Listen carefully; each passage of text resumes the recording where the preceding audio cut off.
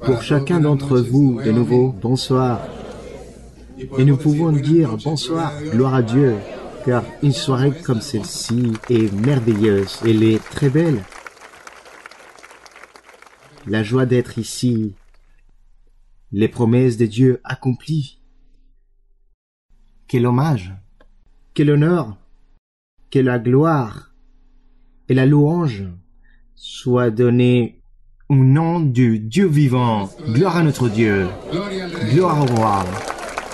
Nous allons ouvrir la Bible dans l'Ancien Testament, premier livre de Rois. Il est écrit dans le livre de Rois, chapitre 8, verset 22, où Salomon prie pour rendre hommage pour l'ouverture du temple. Je vais lire le premier, le premier verset, vous allez lire le suivant. Et nous allons le faire pour honorer et donner gloire à notre Dieu. La Bible dit, Salomon se plaça devant l'autel de l'Éternel, en face de toute l'assemblée d'Israël. Il étendit ses mains vers le ciel, et il dit, Ô Éternel, Dieu d'Israël, il n'a point de Dieu semblable à toi, ni en haut dans les cieux, ni en bas sur la terre. Tu gardes l'alliance et la miséricorde envers tes serviteurs qui marchent en ta présence de tout leur cœur. Ainsi tu as tenu parole à ton serviteur David, mon père. Comme ce que Dieu promet aujourd'hui, il l'accomplisse. Gloire à notre roi. Et ce que tu as déclaré de ta bouche, tu l'as accompli en ce jour par ta puissance. Gloire à notre Dieu. Maintenant l'Éternel Dieu d'Israël observe la promesse que tu as faite à David, mon père en disant, tu ne manqueras jamais devant moi d'un successeur assis sur le trône d'Israël, pourvu que tes fils prennent garde à leur voix et qu'ils marchent en ma présence comme tu as marché en ma présence. Oh, qu'elle s'accomplisse, Dieu d'Israël, la promesse que tu as faite à ton serviteur David mon père. Mais quoi? Dieu habitera-t-il véritablement sur la terre Voici, les cieux et les cieux des cieux ne pourront le contenir, combien moins cette maison que je t'ai bâtie. Toutefois, éternel mon Dieu, sois attentif à la prière de ton serviteur et à sa supplication. Écoute le cri et la prière que t'adresse aujourd'hui ton serviteur que tes cieux soient nuit et jour ouverts sur cette maison, sur le lieu dont tu as dit, là sera mon nom. Écoute la prière que ton serviteur fait en ce lieu. Que l'honneur, la gloire et la louange soient pour notre Dieu. Alléluia, gloire à notre Dieu. Je vous invite à vous asseoir, mes frères. C'est une prière très belle. Et cette prière est vivante aujourd'hui et que notre cœur de chacun d'entre nous a exprimé des paroles à notre Dieu similaires à celles qu'a dit le roi Salomon. Je vous laisse en compagnie de notre frère Oscar Carijo, qui va vous raconter comment nous avons obtenu cette merveilleuse bénédiction. Frère Oscar, bienvenue. Mes frères, bonsoir. Moi aussi, je suis très content, comme vous. Pourquoi? Parce que dès que je suis rentré, j'ai vu beaucoup de visages très content en train de remercier et notre sœur nous a toujours dit de chercher des endroits qui s'adaptent à toutes les personnes. Aujourd'hui, c'est le jour de l'ouverture de ce temple. Je vais vous raconter comment nous avons trouvé cette église. Cet endroit a été mis en vente en 2014 pour 6 millions de dollars. Et la première fois que nous avons venu la visiter, c'était en 2018. Voici comment a été négocié cet achat à l'époque avec des personnes d'origine africaine et il demandait 5 millions de dollars. Et la sœur nous a autorisé à négocier le prix. Quand on a commencé à négocier, elle est venue la voir, elle nous a dit démolissez-la. Ça, ça lui a tellement plu qu'elle a dit démolissez-la. Ça lui a plu et nous allons voir pourquoi. En 2019, nous l'avons acheté pour 2 840 000 le 25 septembre 2019. Mais ce qu'il y a de plus beau, pour nous, les anciens de l'église Marguette, du local antérieur, qu'est-ce que nous disions? Je fus aussi croyant du temple de Marguerite et j'ai connu aussi cette souffrance.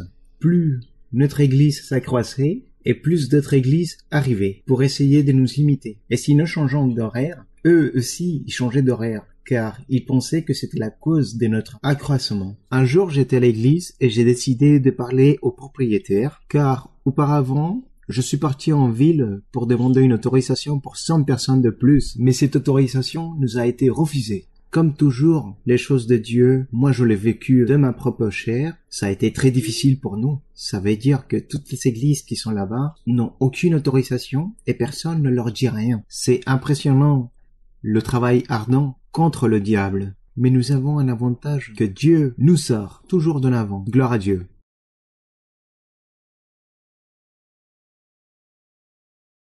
Et nous allons voir comment elle était cette église. Comme l'avons trouvé, elle était, euh, elle a été nettoyée. Le parking, aucune lumière, totalement abandonné. Cet espace, c'était comme ça avec des colonnes très larges. Il s'agit de l'espace ici où nous sommes, actuellement. Car, en fait, Ici, c'était cet espace, mais avec un fond de classe, car il y avait une petite école divisée en plusieurs salles. Dans cette photo, je vais vous montrer, comme euh, vous a dit le, frère euh, José Luis, lorsque nous sommes venus faire l'état de lieu, nous ne savions pas que c'était si mauvais. C'était en très mauvais état.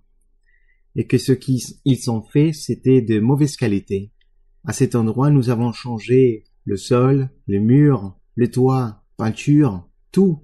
Réellement, la vérité, il n'y a rien de vieux ici. Tout est neuf. Pour Dieu, on donne toujours le meilleur. Gloire à Dieu.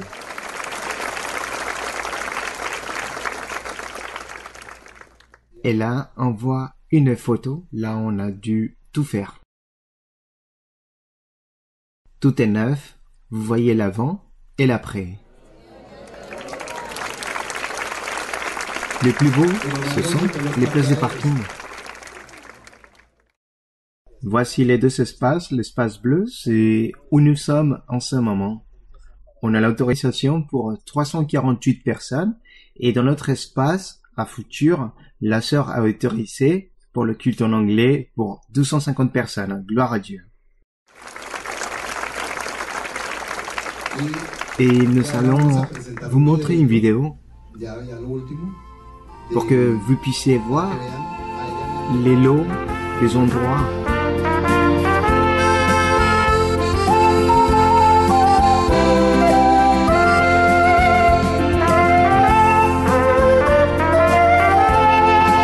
Dans le premier lot, nous avons 100 places de parking et le deuxième lot, beaucoup de personnes ne le connaissent pas, il y en a 112 plus ou moins 230, mais c'est prévu pour 270 places de parking. Et gloire à Dieu car avant c'était très difficile de trouver une place, car c'était un point très important que l'Église n'avait pas avant. Tout cela est merveilleux, gloire à Dieu.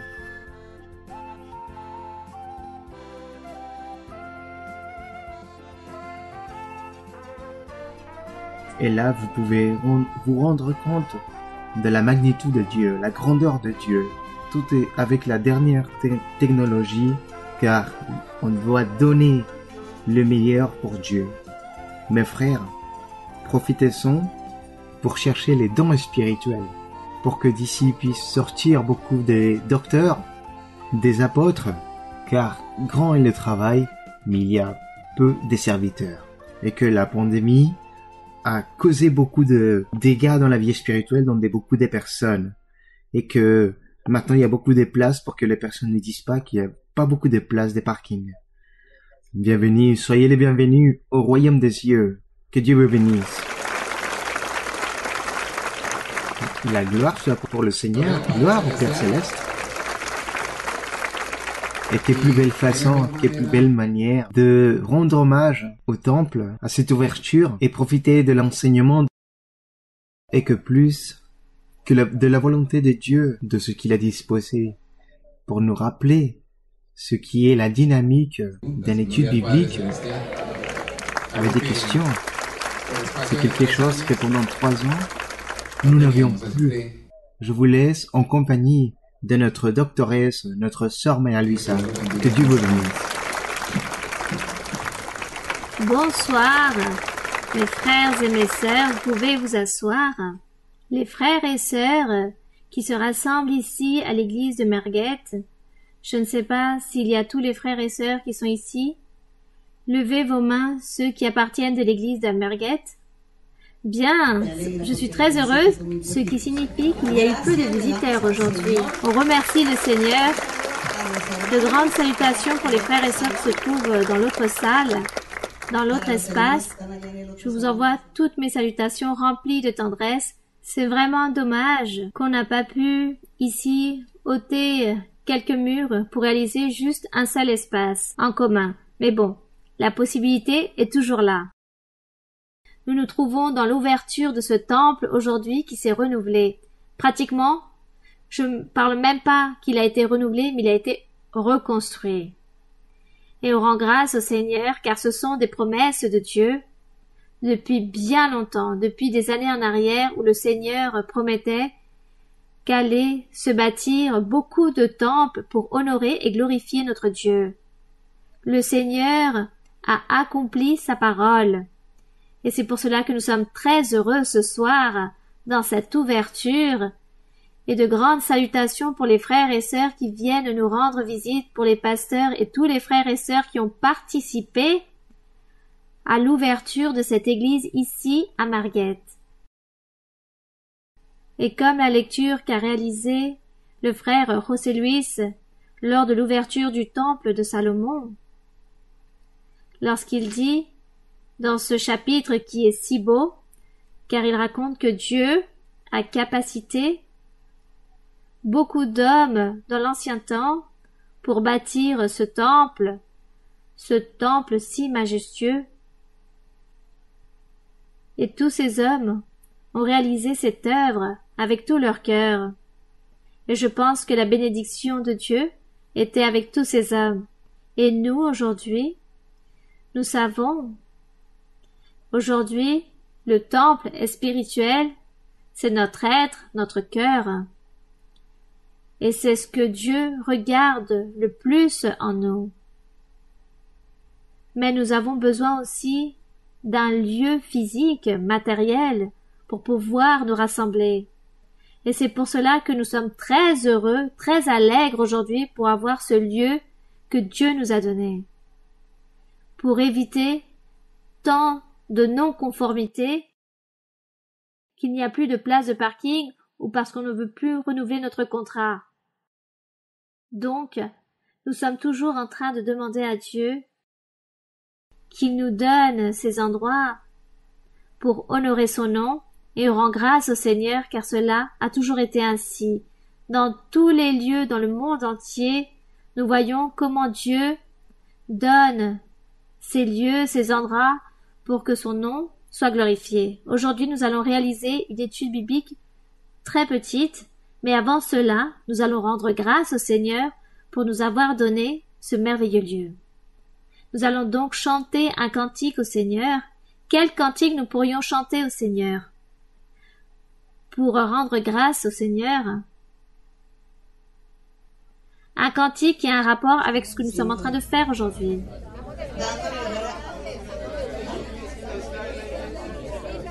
Celle-ci est l'église du Seigneur? D'accord. Bon. Bon, c'est vrai qu'il y a tant de cantiques. Nous allons chanter, après de prier, ce cantique, celle-ci est l'église du Seigneur. Même si nous parlons dans ce cantique de la maison de Dieu, c'est de notre cœur, par du lieu physique. Pourquoi ne dit-on pas au Seigneur que nous sommes heureux pour cette ouverture et chantons la joie du Seigneur c'est ma force. Bien. J'ai posé quel cantique, mais on va chanter celui que je veux. Bon. Nous allons donc prier et rendre grâce au Seigneur. Mon Père Saint, mon Père Céleste, Père de notre Seigneur Jésus-Christ, éternel Dieu, notre Père, toi qui étais dans l'ancien temps avec Moïse, mais avant cela tu as parlé à Abraham, tu lui as fait des promesses merveilleuses. Tu fus ce Dieu pour Jacob, pour Isaac. Tu leur as fait les mêmes promesses à tous ces personnages, et ces promesses, nous aujourd'hui, nous les voyons accomplies. Car tu as dit à Abraham qu'il serait le père d'un grand nombre de nations, que sa parole allait s'étendre dans le monde entier. Et aujourd'hui, mon Seigneur, avec ton évangile, avec l'œuvre merveilleuse de notre Seigneur Jésus-Christ, nous voyons, Seigneur, toutes ces promesses qui s'accomplissent. Nous voyons ton œuvre dans beaucoup de lieux. C'est très émouvant, c'est très touchant d'écouter lorsque ton œuvre, ton assemblée, ton église se rassemblent dans un certain pays. Nous voyons comment dans l'Amérique du Sud, dans dans l'Amérique centrale, en Europe, dans beaucoup d'îles, dans beaucoup de lieux d'Afrique, d'Asie. Là-bas, Seigneur, il y a une assemblée, il y a un groupe de personnes qui se réunissent, qui se rassemblent, et tous guidés et dirigés par le Saint-Esprit. Car toi, Seigneur, tu es celui qui guide ton peuple, tes croyants. Aujourd'hui, nous sommes très heureux très réjouissant pour ce lieu que tu as donné ici en Floride, dans ce lieu spécifiquement à Margate.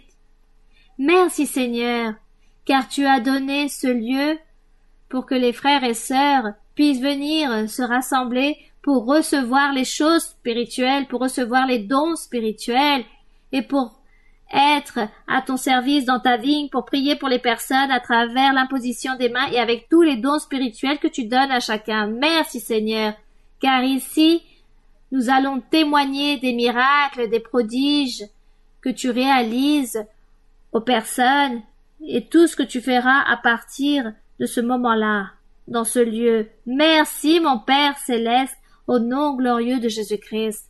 Merci, car sans toi, les choses sont impossibles, car tu sais, Seigneur, qu'il s'agit d'un grand montant qu'il faut investir, et nous, autant qu'humains, nous n'allons pas avoir ces sommes d'argent aussi grandes, mais toi, tu donnes et tu multiplies l'argent. Merci, Seigneur, car cela fait partie de tes promesses. Lorsqu'il y a plus de cinquante ans, tu promettais qu'il y allait y avoir beaucoup d'assemblées dans différents lieux du monde et qu'il ne fallait pas s'inquiéter pour le côté économique car tu allais donner absolument toutes les choses nécessaires et que nous allions pas demander de l'argent aux personnes. Cela tu l'as parlé, tu l'as dit, et tout s'accomplit, car ainsi est ta parole. Merci Seigneur, merci car tu accomplis tes promesses merveilleuses. Merci. Nous sommes aujourd'hui devant ta présence pour te remercier, pour te rendre grâce pour cette grande bénédiction. Nous allons chanter donc maintenant ce cantique qui dit cette joie, la joie du Seigneur. C'est ma force, c'est ma forteresse, car tu es notre force. Car toi, Seigneur, tu nous promets et tu nous accomplis. Merci, mon Père Saint. Au nom glorieux de Jésus-Christ, ton Fils bien-aimé. Merci, Seigneur.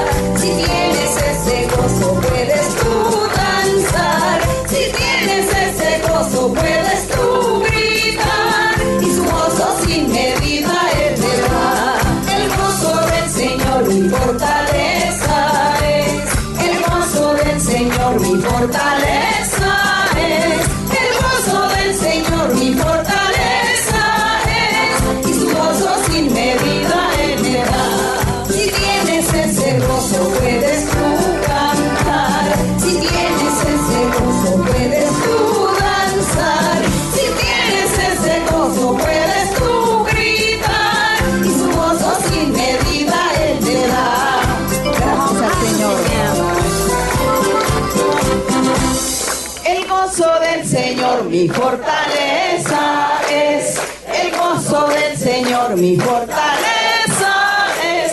El gozo del Señor mi fortaleza es. Su gozo sin medida Él me da. Si tienes ese gozo puedes tú cantar. Si tienes ese gozo puedes tú danzar. Si tienes ese gozo puedes tú gritar. Y su gozo sin medida Él te da. Gloire au. On rend grâce à notre Dieu. Vous pouvez vous asseoir. Et comme je vous le disais, nous allons réaliser une étude biblique. Il y a maintenant plus de trois ans que nous n'en faisions plus. Donc aujourd'hui, il ne va pas être si long. Quelques questions. Mais avant cela, nous allons ouvrir la Bible dans Actes, dans le livre de Actes, chapitre 2, et nous allons lire du verset 37 au verset 47. Rappelons-nous la naissance, le commencement, ou parlons du début de l'Église du Seigneur Jésus-Christ. Lorsque le Seigneur Jésus-Christ a dit à Pierre, lorsqu'il lui a dit je t'ai donné les clés du royaume des cieux. Et Pierre, à ce moment-là, ni personne avait compris ce que cela signifiait, ce que le Seigneur Jésus lorsqu'il disait Je te donnerai les clés du royaume des cieux. Car les clés, nous savons que c'est pour ouvrir une porte. Et effectivement, lorsque cela s'est accompli, cette promesse, c'est lorsque nous avons compris qu'est-ce que cela signifiait d'ouvrir la porte avec les clés du royaume des cieux, ici dans Actes, nous trouvons cette histoire merveilleuse. Et il parle du premier discours de Pierre. Il dit que cent vingt personnes se sont rassemblées dans cette chambre haute en priant jour et nuit des hommes et des femmes. Et tous cherchaient le pouvoir du Très-Haut, cette puissance, comme le Seigneur leur avait dit qu'il fallait se réunir, se rassembler et attendre la puissance du Très-Haut. Et lorsqu'ils allaient être revêtus de ce pouvoir, allait commencer l'Église du Seigneur Jésus-Christ et allait se mettre en marche cette Église que Dieu avait laissée il avait donné ses ordres à ses apôtres. il leur a dit qu'il fallait qu'il devait être revêtu du pouvoir et ne pouvait pas partir évangéliser sans avoir reçu cette puissance du Très-Haut. C'est ainsi qu'ils disent qu'ils ont été remplis du Saint-Esprit. Nous avons lu plusieurs fois cette histoire merveilleuse. Il dit que le jour de Pentecôte, le jour de la fête des Juifs, ce jour-là, tout se priait et tout à coup, le Saint-Esprit vint du ciel un bruit comme celui d'un vent impétueux. Il remplit toute la maison où ils étaient assis. Il dit que toutes les personnes de tous les lieux allaient voir que se passait-il avec ce bruit là-bas dans ce lieu. Ils se sont rendus compte que tous parlaient en langue, en parlant d'autres langages, et tous prophétisaient. Les personnes tous les gens sont venus tout de suite, toutes les personnes qui étaient curieuses. Cependant, beaucoup se moquaient et disaient Non, ces personnes s'enivrent, ils sont complètement ivres, et c'est lorsque Pierre se lève et donne le premier discours. Il leur dit Personne n'est ivre. Il a commencé à parler de toutes les promesses que le Seigneur avait faites dans l'ancien temps à Isaac, à Jacob, il a commencé à parler et à expliquer à toutes ces personnes et leur dire qu'est-ce qui se passait à ce moment-là, que c'était la venue ou la manifestation du Saint-Esprit. C'est ainsi qu'il dit que tous étaient stupéfaits du message que Pierre avait donné ce discours. Lorsqu'il donne toutes ces paroles, s'accomplit cette parole que le Seigneur Jésus-Christ avait dit à Pierre, je te donnerai les clés du royaume des cieux. Donc nous rendons grâce au Seigneur car cela s'est accompli. Puis à ce moment-là, il commence à prêcher. Et c'est pour cela ici dans le verset, dans Acte 2, dans le verset 37, il dit qu'ici ils écoutaient ce message de Pierre, le message de Pierre à partir du verset 14, il commence à parler. Mais dans le verset 36, Pierre étant dans ce discours, il leur dit Que toute la maison d'Israël sache donc avec certitude que Dieu a fait Seigneur et Christ ce Jésus que vous avez crucifié. Après avoir entendu ce discours, toutes les personnes qui étaient venues pour écouter ce grand bruit, où le lieu avait tremblé, en écoutant cela, ils eurent le cœur vivement touché, et ils dirent à Pierre et aux autres apôtres, Hommes, frères, que ferons-nous? Pierre leur dit, Repentez-vous, et que chacun de vous soit baptisé au nom de Jésus-Christ pour le pardon de vos péchés. Et vous recevrez le don du Saint-Esprit. Là, Pierre leur donne l'ordre à toutes ces personnes, de toutes les personnes qui l'écoutaient, et il leur disait qu'est-ce qu'il fallait faire? Comme nous voyons, il a ouvert les portes du royaume des cieux. Et il dit, dans le verset 39, Car la promesse est pour vous, pour vos enfants, et pour tous ceux qui sont au loin, en aussi grand nombre que le Seigneur notre Dieu les appellera. On rend grâce à notre Dieu. Regardez cette promesse merveilleuse lorsqu'il dit que c'était pour les enfants et les enfants des enfants et aussi tous ceux qui se trouvent au loin, donc pour toutes les personnes à qui Dieu voulait de lui-même appeler, nommer, ou choisir, ou élire. On rend grâce à Dieu pour tout cela. Et par plusieurs autres paroles, il est écrit, il les conjurait et les exhortait, disant Sauvez-vous de cette génération perverse. Donc, ceux qui acceptèrent sa parole furent baptisés. Et en ce jour-là, le nombre des disciples s'augmenta d'environ trois mille âmes. Ce fut le premier discours de ce que Dieu avait dit, l'accomplissement de cette promesse que le Seigneur Jésus-Christ a faite à Pierre. Tu ouvriras le royaume des cieux. Je te donnerai les clés. C'est toi le premier qui ouvriras et cela fut ainsi avec ce premier message, le premier discours que Pierre a donné. Il a ouvert la porte. Il dit que les premiers croyants, il y en avait à peu près trois mille.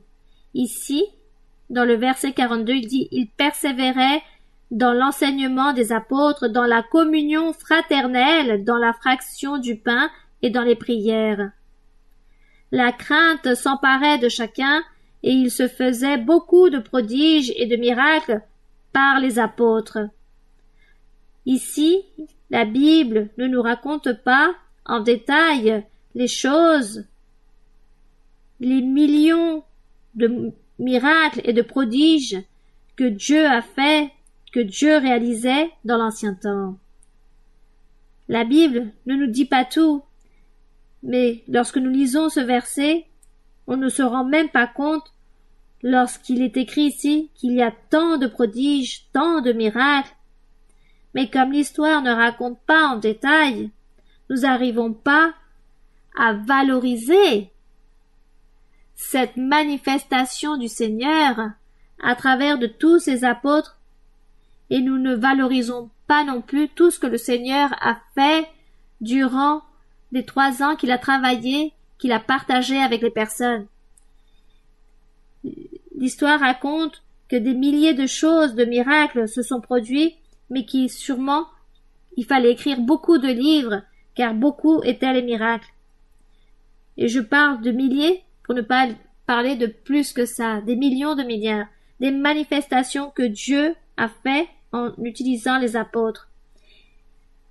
Ensuite, tous ceux qui croyaient étaient dans le même lieu, ils avaient tous en commun, ils vendaient leurs propriétés et leurs biens, ils en partageaient le produit entre tous selon les besoins de chacun. Ils étaient chaque jour tous ensemble assidus au temple, Ils rompaient le pain dans les maisons et prenaient leur nourriture avec joie et simplicité de cœur, louant Dieu et trouvant grâce auprès de tout le peuple.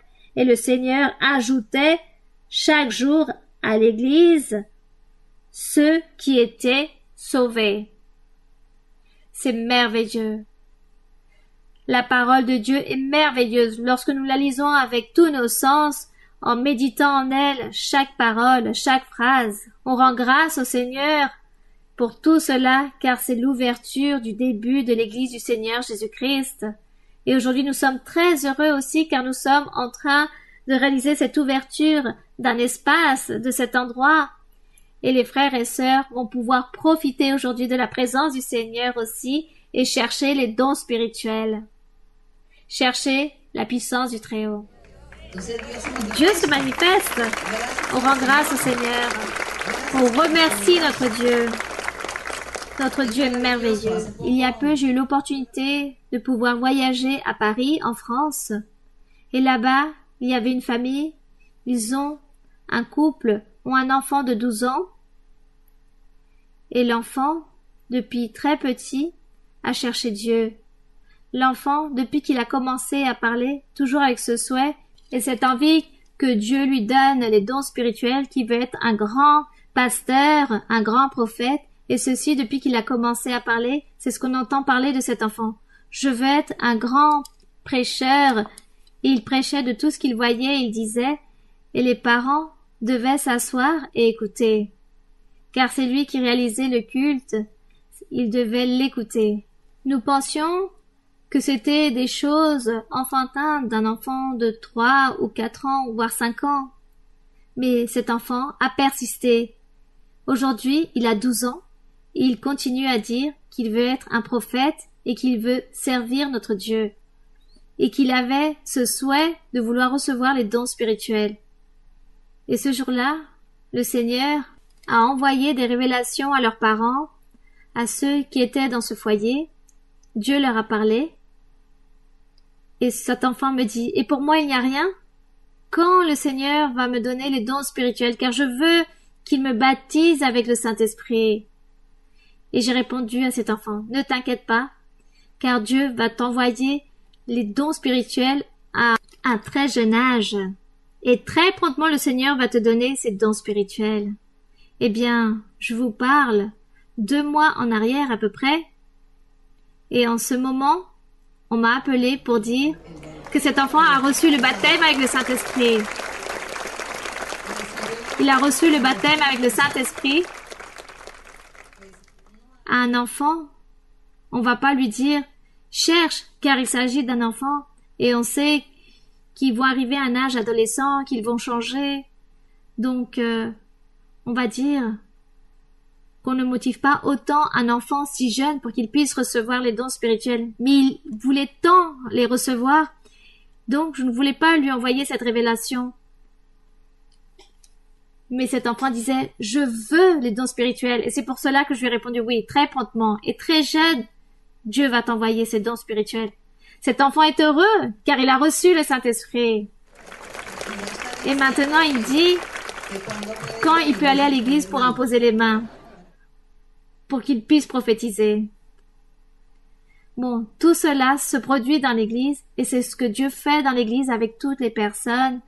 Nous, nous apprenons. Car nous, nous disons, bon, les enfants, non. Mais non. Bien sûr que le Seigneur fait des exceptions et donne aussi aux enfants. Rappelons-nous que le Seigneur Jésus-Christ, lorsqu'il avait douze ans, il enseignait la doctrine aux docteurs de la loi dans l'ancien temps. Alors, voici ce que nous voyons. Ainsi est la bénédiction de Dieu, ce sont les promesses de Dieu, c'est ce que nous, nous vivons dans notre assemblée. C'est cela. Et c'est ce que je témoigne de notre assemblée. Que nous sommes dans le véritable lieu. Nous sommes dans le lieu correct. Nous ne sommes pas dans un lieu erroné, mais nous sommes en train de vivre et de profiter d'un Dieu qui est vivant. C'est pour cela que de cette même façon nous devons marcher et faire très attention pour plaire à Dieu en tout et faire sa volonté. Nous devons toujours nous garder et ne pas nous détourner du chemin. C'est cela. Bien, mes très chers frères et très chères sœurs, nous allons donc maintenant commencer avec notre étude biblique car il y a plus de trois ans, j'ai perdu cette pratique. Bon, la sœur a levé la main Je ne sais pas s'il y a un, deux micros. Bonsoir, ma sœur Mara-Luisa. Je voudrais vous remercier au nom de tous mes frères et sœurs qui nous rassemblons ici dans l'église de Marguerite pour avoir rendu possible ce grand souhait d'avoir l'ouverture de notre église. Il faudrait aussi remercier le frère Oscar car c'est lui qui cherche les lieux. Ah bon, ah bon d'accord ma sœur. Qui essaie de négocier les prix de vente, qui demande des baisses de prix et tout cela. On lui demande cinq il offre deux. Bon. De ce fait, merci beaucoup, frère Oscar. Moi, ce que je fais, c'est profiter de tout ce qu'il fait. Comme aujourd'hui, je suis en train de profiter de tout ce qu'ils ont fait, du travail de vous tous. Oui, ma sœur. Bien, ma sœur, merci beaucoup. Ma sœur, j'ai une question dans le livre de Zacharie. Bien, allons donc au livre de Zacharie. Ceux qui ont la Bible, très rapidement, nous allons voir ici dans Zacharie. Pour être attentif à la question, Zacharie se trouve juste avant Malachie. Zacharie chapitre 6 du verset 1 au 8. Zacharie 6 du verset 1 au 8. Oui, ma, sœur, je voudrais faire un léger résumé du verset 1 jusqu'au verset 13 pour que la lecture ne soit pas si longue. La Bible dit dans le verset 1, 12 et 13, le Seigneur parle à Zacharie, il parle de quatre chars avec des chevaux, que dans le premier char il y avait des chevaux roux dans le second des chevaux noirs et au troisième des chevaux blancs, et dans le quatrième des chevaux tachetés. Et dans le verset 6, il dit, dit les chevaux noirs attelés à l'un des chars se dirigent vers le pays du septentrion et les blancs vont après eux. Les tachetés se dirigent vers le pays du midi. Ensuite, dans le verset 8, ma sœur Maralusa, il dit qu'il m'appela et il me dit Vois, ceux qui se dirigent vers le pays du septentrion font reposer ma colère dans le pays du septentrion. Ma sœur Maraluisa, quel est ce pays du septentrion ou qu'est-ce que cela représente? Le pays du septentrion, c'est la prédication de l'évangile de notre Seigneur Jésus-Christ. Et ici, le Seigneur dit, dans l'Ancien Testament, le Seigneur avait établi le peuple d'Israël c'était le peuple d'Israël que le Seigneur avait établi à travers la main de Moïse, et Dieu voulait que son peuple fasse la volonté de Dieu et lui être agréable en tout. Et Dieu envoya donc des anges, des esprits, pour qu'ils puissent veiller sur le peuple et voir si les personnes faisaient la volonté de Dieu. Et c'est pour cela qu'il dit que ce prophète Zacharie a vu à travers une vision qu'il y avait quatre chars. Il dit que le premier char, il y avait des chevaux roux, au second char des chevaux noirs.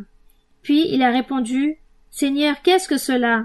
Et l'ange qui était avec lui lui parlait et lui disait Ce sont les quatre vents des cieux qui sortent du lieu où il se tenait devant le Seigneur de toute la terre. C'étaient ceux qui veillaient c'étaient des anges que Dieu avait pour veiller sur le peuple et voir qui faisait la volonté de Dieu, et il s'avère que Dieu a vu que personne ne faisait la volonté du Seigneur. Donc, c'est lorsqu'il continue à parler sur les chevaux, dans le verset 7, où il dit les rouges sortent et demandent à aller parcourir la terre, l'ange leur dit Allez, parcourez la terre, et ils parcoururent la terre. C'était tout le peuple d'Israël. Ensuite il m'appela et me dit Vois, ceux qui se dirigent vers le pays du septentrion font reposer ma colère sur le pays du septentrion. Rappelons-nous que physiquement, Dieu a envoyé le peuple, le roi de Babylone. Il l'a envoyé avec toute son armée pour châtier, pour que la ville, le peuple d'Israël spécialement, puisse être détruit, Jérusalem ou la terre de Juda. C'était eux qui ont été châtiés car Dieu les avait choisis. C'était donc le pays du septentrion, et c'est pourquoi Dieu choisit Nebuchadnezzar, un homme païen, un étranger, pour châtier son peuple d'Israël, son peuple de Jérusalem ou de la Juda. Ce fut la fin de toute cette histoire de ce peuple. Dieu les a châtiés. Mais que s'est-il passé? Une fois que Dieu a châtié ce peuple en utilisant cette armée du septentrion, le Seigneur a gardé ce restant du peuple et ses réchappés ont été emportés à Babylone durant soixante-dix ans. Et de ces personnes qui ont vécu soixante-dix ans là-bas à Babylone, de ces réchappés, est venu le Seigneur Jésus-Christ. C'est pourquoi il dit ici que l'Esprit de Dieu a reposé d'une certaine façon. Il s'est reposé là-bas dans ce pays du septentrion. Il parlait de manière littéraire en parlant de Babylone. Mais réellement, spirituellement, c'était ces réchappés qui étaient là-bas et à travers lui était venu le Seigneur Jésus-Christ. Le Seigneur parle toujours de choses physiques, mais tout a un symbole envers les choses spirituelles. Donc, le Seigneur ici s'est reposé dans le pays du septentrion. Dieu les a châtiés pour emporter ses réchappés, les garder soixante-dix ans, et est venu le Seigneur Jésus. Et c'est là où le Seigneur repose son esprit, dans son œuvre merveilleuse, dans son Église. Bien. Y a-t-il une autre question? Bonsoir, ma sœur Maralusa. Je suis très émue et je remercie le Seigneur d'être devant votre présence et je vous remercie pour tous ces présents comme son Église de pouvoir nous rassembler tous les jours et je remercie notre Seigneur pour vous avoir établi sur terre notre mère spirituelle, de nous avoir sauvés du monde et pouvoir continuer à lutter, persévérer pour arriver agréablement devant Dieu Ma sœur Maralusa, je veux vous poser une question si vous me le permettez. Elle se trouve dans le premier livre de Corinthiens, chapitre 7, verset 36. Oui, ma sœur, vous pouvez lire. Si quelqu'un regarde comme déshonorant pour sa fille de dépasser l'âge nubile et comme nécessaire de la marier, qu'il fasse ce qu'il veut et qu'il ne pêche point qu'on se marie. Ma sœur Maralusa, je voudrais que vous puissiez nous enseigner qu'est-ce que le Seigneur veut dire lorsqu'il dit qu'il fasse ce qu'il veut pour ne pas mal interpréter les choses. Anciennement, il y avait une culture dans le peuple d'Israël. Le peuple juif avait sa coutume. On parle de culture, mais vraiment, c'était tout ce que Dieu avait enseigné à ces personnes et avait exigé de quelle façon ils devaient vivre et comment il devait être ce peuple, qu'est-ce qu'ils devaient manger, comment ils devaient s'habiller, comment faire les, lois, Dieu a enseigné tout à Moïse. Il a dit, je vais établir un peuple pour qu'il me loue. Je vais envoyer les commandements, les règles, les préceptes pour qu'ils puissent vivre selon la volonté de Dieu. Et le Seigneur leur a enseigné comment ils devaient se vêtir, comment ils devaient manger, qu'est-ce qu'ils ne devaient pas boire ou manger, comment ils devaient travailler, comment ils devaient se comporter, toutes les lois. Et ce qui est curieux, c'est que nous, aujourd'hui, nous voyons que dans le monde, les pays ont leurs lois, et ces lois, ils les ont sorties, c'est de la Bible. Car, réellement, la loi de ne pas tuer, de ne pas ôter la vie à quelqu'un, d'où ils l'ont sorti, qu'il ne faut pas violer, qu'il ne faut pas envier, qu'il ne faut pas ôter les choses des autres, d'où ils ont sorti cela? Eh bien, de la Bible. Donc nous voyons que dans tous les pays, il existe ces lois, n'est-ce pas? Il faut donc se garder de toutes ces choses. Donc nous voyons comment Dieu a envoyé les lois à l'humanité et leur a enseigné le chemin. Donc, c'est de cette façon que Dieu établit son peuple d'Israël et leur dit, il envoie les lois en disant, vous devez vous soumettre à mes ordonnances, à mes commandements, et ne faites pas ce que les autres étrangers font, car vous allez vous laisser mener par l'ennemi et l'ennemi, le diable, va vous enseigner à faire le contraire de ce que Dieu demande, alors vous devez accomplir au pied de l'être mes commandements. Et c'est pour cela, anciennement, Dieu enseignait que les fils devaient se soumettre, valoriser et respecter leurs parents. Et lorsque les enfants avaient un âge pour pouvoir se marier, alors ils n'avaient plus le droit de choisir avec qui ils voulaient se marier, ni l'homme ni la femme.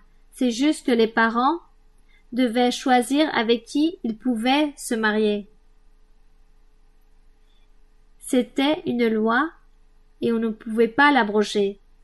Et les enfants respectaient leurs parents et obéissaient. Nous voyons qu'anciennement, il n'y avait pas cette histoire d'amour que le jeune était amoureux et qu'il devait se marier ou vice-versa. C'étaient les parents qui choisissaient et prenaient les décisions. Et Dieu appuyait ces décisions, car Dieu permettait que les personnes puissent être amoureux, mais après ce compromis.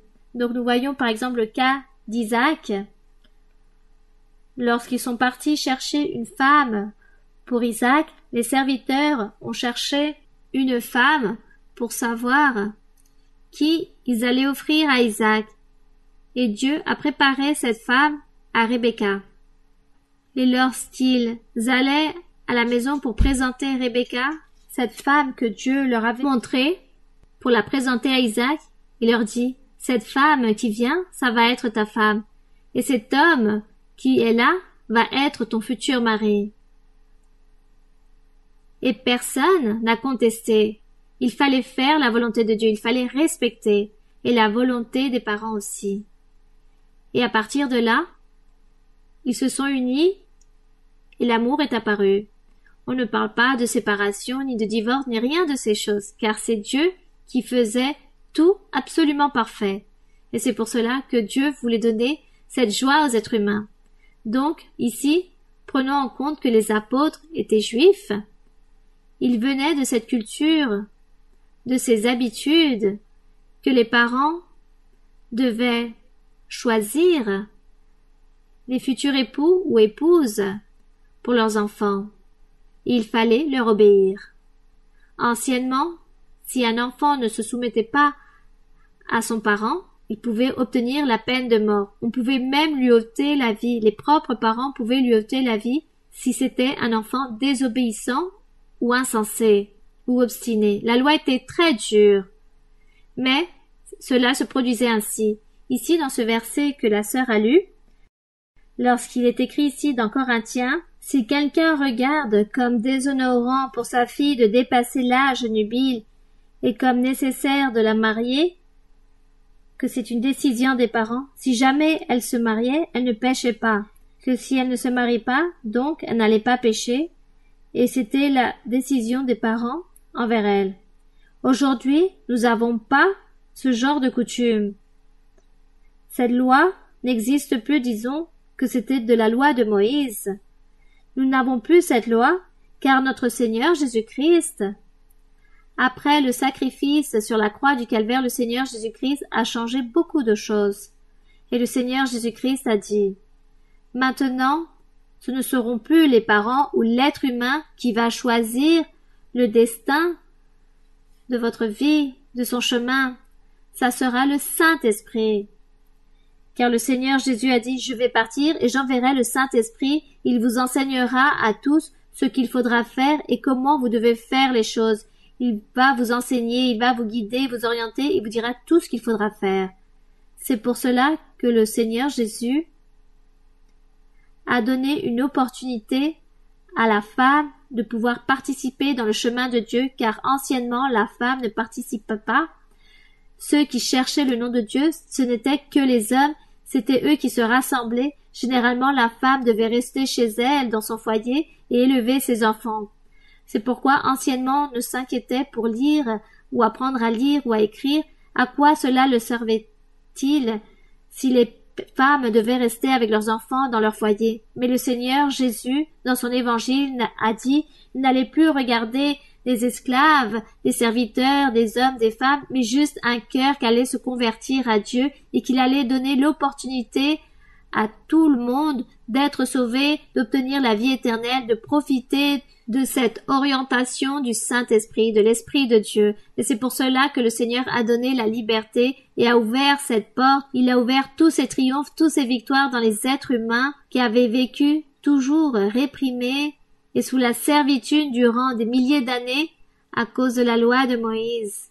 Et le Seigneur Jésus est venu et a dit, le Saint-Esprit, c'est lui qui guidera chacun et aidera chaque personne pour que les personnes puissent se soumettre à Dieu et en même temps chacun puisse accomplir envers son prochain les choses nécessaires et les devoirs qu'il faut accomplir.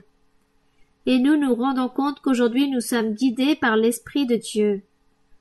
Même pour réaliser une affaire, combien de personnes disent j'allais vendre ma maison ou j'allais réaliser une affaire, créer une entreprise et le Saint-Esprit m'a envoyé un songe, le Seigneur m'a envoyé un songe et dans le songe le Seigneur m'a dit qu'il ne fallait pas que je fasse cela.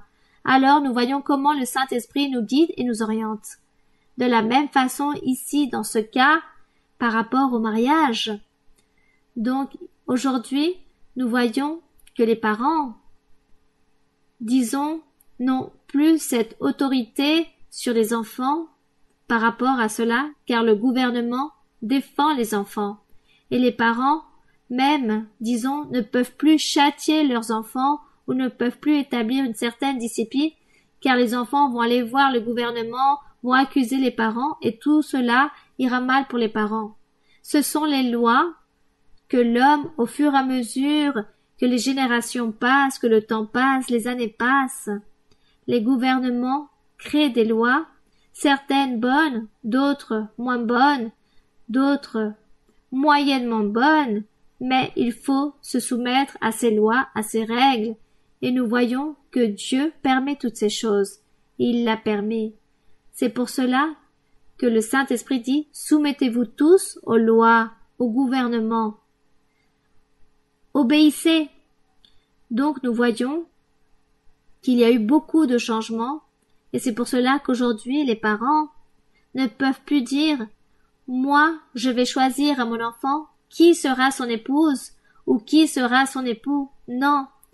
Aujourd'hui, il faut laisser que chacun ait sa propre liberté de pouvoir choisir. La seule chose que les parents peuvent faire, c'est prier le Seigneur rendre un bon témoignage envers leurs enfants pour que eux aussi puissent suivre les mêmes paramètres de leurs parents, de craindre Dieu, de faire les choses justes pour que Dieu donne la victoire et bénisse en tous ses aspects. Donc ce qui vaut aujourd'hui, c'est le témoignage et l'exemple. Donc ce verset n'est plus pour nous aujourd'hui, car c'était anciennement lorsqu'il y avait la loi de Moïse. Et les apôtres lorsqu'ils ont commencé à prêcher l'Évangile, ils n'ont pas pu ôter toute la loi de Moïse du jour au lendemain, car c'était impossible. Une loi qui était là depuis des milliers d'années, comment allait-il l'ôter en un mois ou dans un an ou en quelques semaines? Cela était impossible. C'était au fur et à mesure que le temps passe, que le Saint-Esprit enseigne et se manifeste. Les choses changent, il ôte des choses, et les personnes s'adaptent peu à peu. Et cette adaptation peu à peu dure des années et des années, voire des milliers d'années. Maintenant, ça fait plus de deux mille ans que le Seigneur Jésus a commencé avec son évangile et encore aujourd'hui, il y a tant de choses dans lesquelles nous nous soumettons à ces lois de l'ancien temps. Et aujourd'hui, on lutte encore et dans certains pays, il y a cette lutte et dans certains pays, ils suivent toutes ces choses et ne veulent rien changer. Il s'agit donc d'un processus qui mène beaucoup de temps. Pour l'instant, nous profitons de l'orientation du Saint-Esprit. Ici, cette jeune, si elle ne se marie pas, ce n'est pas grave. Il n'y a aucun souci. Et si elle se marie, il n'y a aucun souci aussi. Maintenant, c'est l'homme et la femme qui devant Dieu se présentent et c'est Dieu qui les choisit pour chacun ce que mieux leur convienne. Voici ce qu'il dit ici par rapport aux jeunes filles. Et le Saint-Esprit nous enseigne au fur et à mesure du temps, car vous êtes témoins, qu'un jour, une femme allait choisir quelqu'un pour se marier et le Saint-Esprit lui disait non. Il n'est pas convenable que tu te maries avec celui-ci. Ou le Saint-Esprit peut dire à un homme il n'est pas convenable que tu te maries avec elle. Attends ton temps. Nous voyons cela. Nous voyons qu'aujourd'hui, nous sommes guidés par l'Esprit du Seigneur. Et tous ces écrits sont merveilleux. Mais nous, nous devons être sages et intelligents et mettre une logique à tout et aussi nous trouver dans le temps, dans le lieu. Nous devons savoir nous situer dans le temps pour ainsi nous soumettre à toutes ces choses. De là sort ce que vous entendez dans certaines assemblées ou religions, vous entendez parfois parler d'extrême fanatisme en les personnes dans certaines dénominations, le fanatisme, car les personnes interprètent littéralement les choses. Il y a beaucoup de choses que le Saint-Esprit a changées et personne n'en s'est rendu compte et les personnes les interprètent si littéralement qu'elles obligent les personnes à faire cela. Et cela ne doit pas être ainsi. Nous rendons grâce au Seigneur que nous avons le Saint-Esprit et le Seigneur nous enseigne. Bien. Excusez-moi pour cette réponse aussi longue. Y a-t-il une autre question? Bonsoir, ma sœur. Que le Seigneur vous bénisse. C'est une promesse du Seigneur que je serai en face de sa servante bien-aimée. J'ai deux questions dans la Bible, sont très courtes. La première. Mais c'est la réponse qui est longue. Oui, mon frère, allez-y. trouve dans Esaïe, dans le livre d'Esaïe 41-25. Ma question a un rapport avec la première question qu'une sœur vous a posée aujourd'hui. Esaïe 41, 25. Je peux lire, Oui. ma sœur? Oui, oui.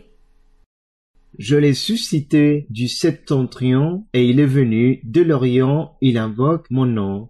Il foule le puissant comme de la boue, comme de l'argile que foule un potier. Mais dans Esdras 1.2, Esdras 1.2, Ainsi parle Cyrus, roi des Perses, l'Éternel, le Dieu des cieux, m'a donné tous les royaumes de la terre, et il m'a commandé de lui bâtir une maison à Jérusalem, en Juda. Ma sœur, ma question est, celui qui l'a suscité de l'Orient, c'était le roi de Perse, Cyrus? En son temps, fut suscité dans Esdras, vous lisez, lorsque Cyrus dit L'Éternel m'a envoyé pour construire son temple, c'est parce que c'était le roi à cette époque, et comme c'était le roi qui donnait l'ordre pour que les personnes puissent revenir à Jérusalem, s'il n'y avait pas l'ordre du roi, personne ne pouvait faire les choses, car si quelqu'un partait à Israël, alors on lui ôtait la vie ou on l'emmenait captif. Donc Dieu a dû révéler à ce roi, à cette époque, au roi Cyrus, et Dieu lui a ordonné qu'il devait donner l'autorisation aux Juifs pour qu'ils puissent revenir à Jérusalem pour bâtir le temple et bâtir à nouveau ce qui était détruit, ce qu'avait détruit le roi Nebuchadnezzar. Donc nous voyons qu'il s'agit des époques différentes. Ce que vous lisez dans Esdras est arrivé soixante-dix ans après que le peuple que se réchappait était à Babylone. Et ce que vous lisez ici dans Ésaïe 41, ce sont des choses qui ne s'étaient pas encore produites, elles se sont produites avant la destruction de Jérusalem ou du peuple d'Israël. C'était bien avant, beaucoup de siècles en arrière. Ce que vous lisez ici par rapport à Ésaïe. Donc, dans Ésaïe, c'est l'époque des rois et Ezra, c'est après de la déportation, après ces 70 ans captifs à Babylone, où Dieu, à travers la miséricorde, leur demande de revenir à Jérusalem pour rebâtir la ville et le temple du Seigneur. Il s'agit de deux époques différentes. Mais votre question, c'est en parlant de quoi? De l'Orient? Du Septentrion? Le roi Cyrus, roi des Perses. Oui, le roi Cyrus, roi de Perse, c'était après la destruction de Jérusalem. Et dans Ésaïe, c'était des siècles bien avant. Donc, nous ne pouvons pas lier, disons, ces deux époques, ces deux temps, ou ces circonstances qui parlent ici, car il s'agit d'une prophétie complètement différente. Dans Ésaïe, on parle du futur pour le Seigneur Jésus-Christ, et le roi Cyrus, c'est lui qui régnait dans l'ancien temps aussi, dans l'époque des Perses. Il régnait, c'était le seul qui pouvait donner l'autorisation aux Juifs de revenir dans leur pays à nouveau. Et c'est pour cela que Dieu a touché le cœur du roi Cyrus pour permettre tout cela. Mais n'allez pas vous tromper. Il s'agissait de deux époques différentes, mon frère. Merci ma sœur. Ma deuxième question se trouve dans le livre d'Ézéchiel 17, versets 22 et 23. Ézéchiel aussi, c'est avant de la destruction de Jérusalem, bien avant de la déportation à Babylone. pour nous retrouver dans le temps et dans l'histoire, et ainsi nous pouvons mieux comprendre. Lisez, mon frère. Merci, ma sœur. Ainsi parle le Seigneur l'Éternel, j'enlèverai moi la cime d'un grand cèdre, et je le placerai, j'arracherai du sommet de ses branches un tendre rameau, et je le planterai sur une montagne haute et élevée. Je le planterai sur une haute montagne d'Israël, il produira des branches et portera du fruit, il deviendra un cèdre magnifique, les oiseaux de toute espèce reposeront sur lui, tout ce qui a des ailes reposera sur l'ombre de ses rameaux. Ma sœur, par rapport à ce que vous, vous nous avez déjà enseigné, je comprends que le cèdre, c'est Jérusalem et le rameau qui plantera notre Dieu. Non, non, mon frère. Ici, il parlait du roi de Babylone.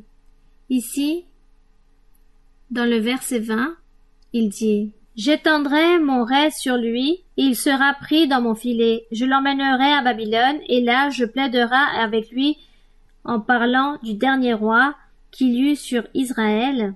Cette histoire nous la trouvons dans Chronique. Dans le dernier chapitre de Chronique se trouve l'histoire de Sédécias, le dernier roi d'Israël, que le Seigneur l'a châtié très durement. Il l'a humilié et l'a établi entre les mains du roi de Babylone pour faire tout ce qu'il voulait avec ce roi, il a été châtié. Donc Dieu a utilisé le roi de Babylone pour châtier le peuple d'Israël et détruire Jérusalem, le temple de Salomon, et aussi la ville de Jérusalem a été complètement détruite. Mais le châtiment était pour ce roi, le roi Sédécias. Très bien, ma sœur. Et, euh, et le rameau qui plantera notre Dieu, c'est notre Seigneur Jésus-Christ? Et là aussi, oui, le Seigneur commence à la fin de commence à dire comme ils ont vécu soixante-dix ans, ces réchappés, une fois qu'a été détruit Jérusalem, ils ont emporté ces réchappés captifs à Babylone, et là-bas, ils ont duré soixante-dix ans, et après ces soixante-dix ans, nous trouvons cette belle histoire de Daniel et tous les autres personnages, et c'est lorsque Dieu touche le cœur du roi Cyrus pour que les Juifs puissent revenir, ceux qui étaient à Babylone puissent revenir de nouveau à Jérusalem. À partir de là, Jésus parle de toutes ces personnes, de ce rameau qui va être rempli de bénédictions, mais il fait référence au Seigneur Jésus-Christ. Mais cela s'est produit des siècles plus tard, s'est accompli cette promesse. Continuons. Bonsoir, ma sœur. Oui, mon frère. Promesse de Dieu accomplie que j'allais participer d'une fête spirituelle et que j'allais vous poser une question. Je remercie le Seigneur. Dans le livre d'Ecclésiaste, chapitre 2, verset 24, et c'est un verset qui a été mal interprété pour les personnes. Il, y a quelques semaines. Ecclésiaste 2, 24. Oui, mon frère. Il y a quelques semaines, vous nous avez enseigné ce qui était la liberté et que le monde fait du libertinage. Je peux lire, ma sœur? Oui, Il n'y a des bonheurs pour l'homme qu'à manger et à boire, et à faire jouir son âme du bien-être au milieu de son travail. Mais j'ai vu que cela aussi vient de la main de Dieu. Nous qui lisons la Bible. Mon frère, excusez-moi. Ici, lorsqu'il dit qu'il n'y a de bonheur pour l'homme qu'à manger et à boire. Il dit de manger et boire. Il ne dit pas de manger ou de s'enivrer. C'est quelque chose de différent. Boire. Qu'est-ce qu'on peut boire? On peut boire du lait, on peut boire des jus, on peut boire des chichas, comme on parle là-bas, les boissons andines au Pérou, ce sont des jus de fruits. On peut boire aussi une bière ou du vin. Ce sont les boissons anciennement en Israël, car la terre donnait beaucoup de raisins, donc ils avaient l'habitude de faire du vin et accompagner les nourritures avec cette boisson. Par exemple l'eau aussi. Mais anciennement les personnes, je pense, que les personnes ne buvaient pas tant d'eau, mais utilisaient leurs propres boissons comme le vin ou le, le cidre. Il y a des personnes qui buvaient du lait aussi ou des jus de fruits. C'est cela. Voici lorsqu'il dit de manger et boire, mais pas manger et s'enivrer. C'est quelque chose de différent. Et les personnes parfois mal interprètent cela, surtout en Amérique latine, lorsque les personnes ont dit il faut boire, il faut boire et manger. Alors tout de suite, ah, il faut sortir le whisky, ou le vodka, il faut s'enivrer. Non. Il faut boire du liquide avec de la nourriture, mais il existe tant de boissons.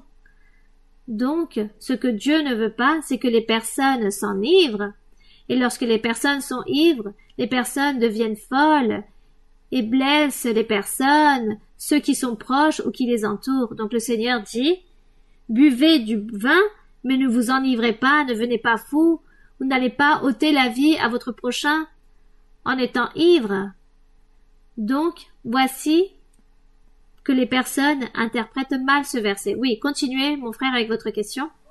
Non, ma sœur, vous venez de répondre à ma question. Ah bon, mon frère. C'était la différence entre la liberté, ce que vous nous avez enseigné, et le Oui. libertinage. Donc, euh, mon frère ici, lorsqu'il parle de manger et boire, c'est différent de dire manger et enivrez-vous. C'est très différent. Donc, les personnes, disons, n'ont pas la bonne expression. Surtout en Colombie, j'entends que les personnes disent Ah, celui-ci boit beaucoup, car il dit qu'il faut manger et boire. Immédiatement, lorsqu'on parle de boire, c'est s'enivrer. Non, c'est pas cela. C'est tout simplement boire une boisson qu'on a besoin pour digérer les aliments. Bien. J'adore les études bibliques. Y a-t-il d'autres questions? Ça faisait plus de trois ans sans faire d'études bibliques. Gloire à Dieu, ma sœur, car je me réjouis beaucoup dans les études bibliques. C'est mon aliment spirituel. Je vous aime en le Seigneur énormément. La question que j'ai se trouve dans Matthieu 5. Euh, vraiment, ça serait à partir du verset 38 jusqu'au verset 46, mais je veux me baser sur les versets 40 et 44. Il dit ainsi. Alors, Matthieu 5, 40. Oui, n'est-ce pas? 5, 40 Oui, et 44. oui. Si quelqu'un veut plaider contre toi et prendre ta tunique, laisse-lui encore ton manteau. Bien. Donc, qu'est-ce que cela signifie? De la patience. Faites travailler la patience. Et ne vous irritez pas, ne vous mettez pas en colère. Celui Qui veut plaider contre toi et prend ta tunique, ne lui réponds pas de la même façon. Si quelqu'un s'irrite contre toi, ou est gêné contre toi, ou est en colère contre toi, alors tu vas lui répondre de la même façon comment cela va se terminer? Ça sera un grand accident à la fin. Peut-être il y aura une agression physique qui peut produire même la mort. Alors, lorsqu'on vous dit si quelqu'un veut plaider contre toi, Ne fais pas attention à cela, ne lui porte pas d'importance, car cela ne vaut rien. Plutôt taisez-vous, remplissez-vous de patience, ne dites rien, fuyez, c'est cela. C'est mettre en pratique cela. Et lorsqu'il dit si quelqu'un te force à faire un mille, alors faisons deux avec lui. Celui qui s'irrite, ou celui qui te menace, ou qui te défie, ne t'irrite pas contre la personne. Comme dire, si celui-ci me jette une pierre, alors moi aussi je lui rends. Non. Évitons cela. Fuyons. Fuyons de tous ces pièges que l'ennemi établit dans la vie de la personne. Évitons, fuyons, et avec la patience, avec l'intelligence, avec la prudence, avec la sagesse, qu'est-ce que nous pouvons émettre? Nous faisons travailler toutes choses, beaucoup de choses, pour ne pas réaliser tous ces conflits et pas nous mettre en colère ou réaliser des choses agressives. Alors fuyez de toutes ces choses. Voici ce que le Seigneur disait ici pour éviter ces inimitiés. Il fallait donc éviter cela. C'est pourquoi il dit Donne à celui qui te demande et ne te détourne pas de celui qui veut emprunter de toi, car celui-ci va aller contre toi. Sois intelligent. Si une personne dit des injures, ne fais pas attention, ne dis rien, tais-toi. Et celui-ci cessera de dire toutes ces choses, et le conflit sera terminé. Voici ce que nous enseigne ici le Seigneur, que nous devons être modérés, prudents, sages et patients. C'est cela. Ne pas amplifier les choses. Ne pas commencer à nous niveler, à nous mettre à égalité avec ces personnes et nous remplir de colère et ensuite viendra les accidents ou des choses pires dans notre vie ou dans la vie des autres. Voici ce que le Seigneur nous enseigne, que nous devons nous remplir toujours de patience et être très intelligents en tout. Continuons. Bonsoir, ma sœur, que Dieu vous bénisse. Mon plus grand souhait, c'est que Dieu vous donne toujours une longue vie pour que vous puissiez toujours nous apprendre cette doctrine qui nous aide beaucoup. Ma question se trouve, ma sœur, dans Matthieu chapitre 10, 9 et 10. Moi, ma sœur, je vous pose cette question car le Seigneur m'a dit à travers la prophétie que j'allais lui servir et qu'il me permettrait voyager dans beaucoup d'endroits dans le monde pour prêcher sa parole. Matthieu 10. Oui, Matthieu 10, versets 9 et 10. Il dit Ne prenez ni or, ni argent, ni monnaie dans vos ceintures, ni sac pour le voyage, ni deux tuniques, ni souliers, ni bâtons, car l'ouvrier mérite sa nourriture. Bien, ma sœur. Cet ordre, le Seigneur Jésus-Christ l'a donné à ses douze apôtres, anciennement. En ce temps-là, le Seigneur Jésus a envoyé ses douze disciples et leur a dit qu'ils devaient aller dans toutes les villes, dans tous les villages, dans tous les lieux, dans les synagogues aussi, car les villes étaient très petites. Il n'y avait pas de transport à l'époque dans les personnes marchaient énormément et les personnes devaient prêcher, témoigner de ce que le Seigneur Jésus était en train de faire dans ces jours-là. Donc il envoie ses douze apôtres et leur dit Parcourez toutes les villes et essayez de récupérer toutes ces brebis perdues, faites des miracles, des prodiges, parlez du royaume des cieux, mais ne commencez pas à apporter une valise avec les nourritures et toutes les choses nécessaires d'un voyage, mais partez, parcourez, car les personnes, là où vous irez, là où vous allez prêcher, comme il y aura des miracles, des prodiges, et les personnes vont être guéries et vont recevoir beaucoup de miracles, beaucoup de bienfaits, les personnes vont être reconnaissantes et vont bien vous accueillir et vous donneront à manger, vont vous héberger, vont vous vêtir, ils vont tout vous donner, les personnes vont tout vous donner, alors vous n'avez pas besoin de rien prendre, car on va tout vous donner. Et effectivement, cela s'est produit ainsi. Ils partaient, ils évangélisaient, ils avaient de la nourriture en abondance, toutes les attentions étaient grandes, les personnes étaient très reconnaissantes pour tous les miracles que Dieu faisait à travers les mains des apôtres. Les personnes recevaient leurs bienfaits et c'est pour cela que les personnes aussi de même les accueillaient si bien. Aujourd'hui, par exemple, si cela nous arrive, par exemple, les personnes étant reconnaissantes car Dieu établit cette reconnaissance, cette allégresse, alors nous qui prêchons, nous recevons beaucoup de bienfaits. Moi, par exemple, je reçois beaucoup de bienfaits là où que j'aille, car les frères, les sœurs m'offrent beaucoup de choses, me donnent des robes, des vêtements, de la nourriture, des cadeaux. Aujourd'hui, bon, ce n'est pas comme dans l'ancien temps. Même si tout est plus moderne de toute façon, il y a beaucoup de reconnaissance envers les personnes, les frères et sœurs, car Dieu leur donne des bénédictions et les personnes veulent bien accueillir ceux qui prêchent. Et ceux qui prêchent vivent ces expériences. Par exemple, les personnes, ces frères, lorsqu'ils partent prêcher, on leur donne des cadeaux et ce n'est pas que les pasteurs demandent des cadeaux, mais c'est parce que ceux-là naît dans les cœurs des personnes, et c'est une promesse merveilleuse qui est là depuis le début, et le Seigneur a dit aux disciples N'emportez rien, car tout vous allez le recevoir en abondance. Et c'est de même ce qui se passe avec les frères et sœurs. Ce sont, disons, des dons, des bénédictions que Dieu donne.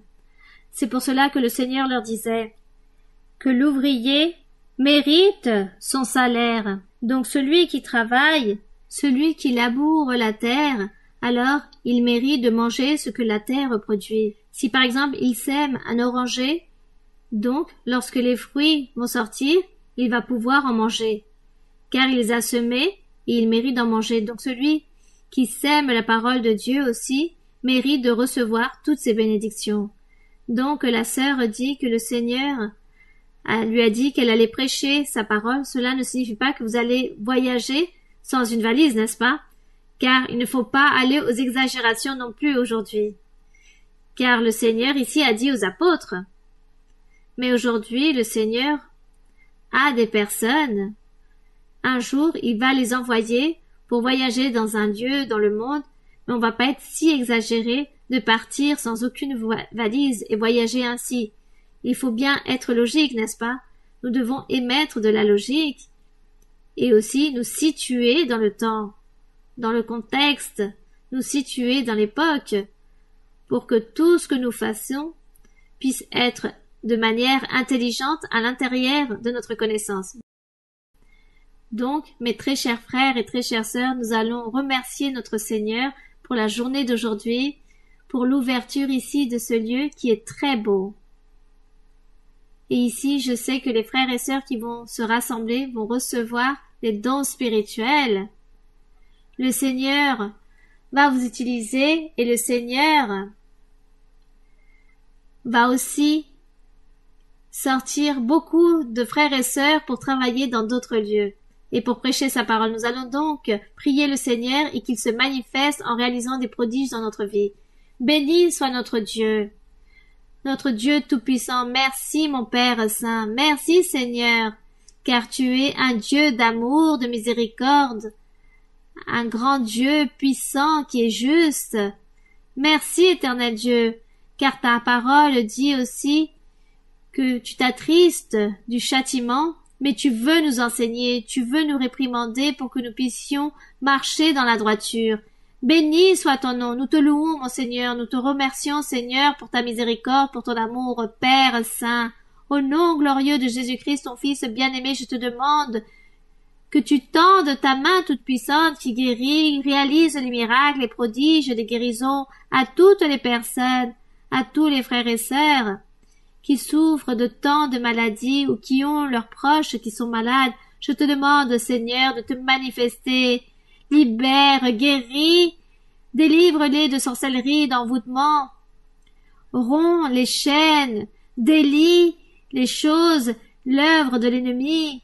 Ôte tout mal sur nous, nous qui déposons notre confiance en toi. Seigneur, nous t'aimons. Nous voulons te louer, te glorifier, car tu mérites tout cela. Merci Seigneur.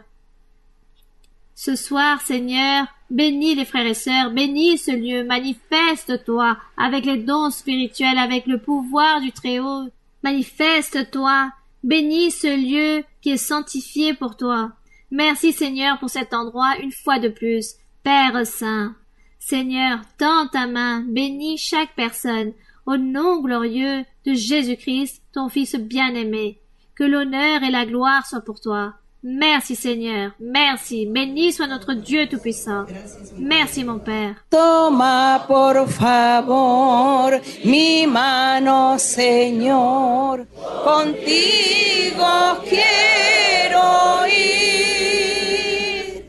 con sangre aquí pagaste por mí, te quiero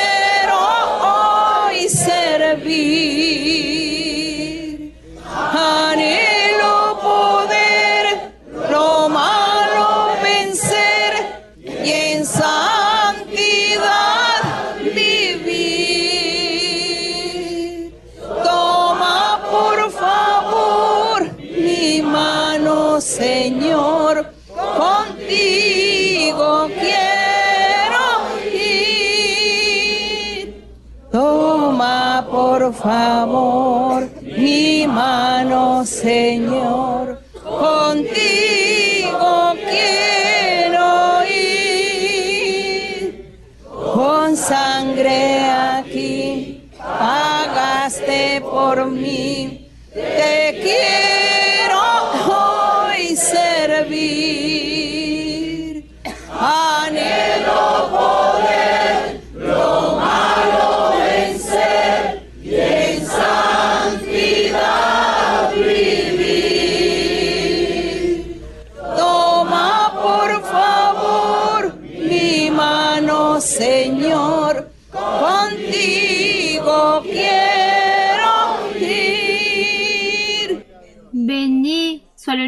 Seigneur. La louange est pour notre Dieu. On remercie notre roi. Nous rendons grâce à notre Dieu Merci à chacun d'entre vous aussi, mes frères et sœurs, que Dieu vous bénisse, et les frères et sœurs qui se trouvent aussi dans l'autre espace, que Dieu vous bénisse grandement. Et ici, vous avez votre endroit pour louer le Seigneur. Merci beaucoup. Merci et à très bientôt.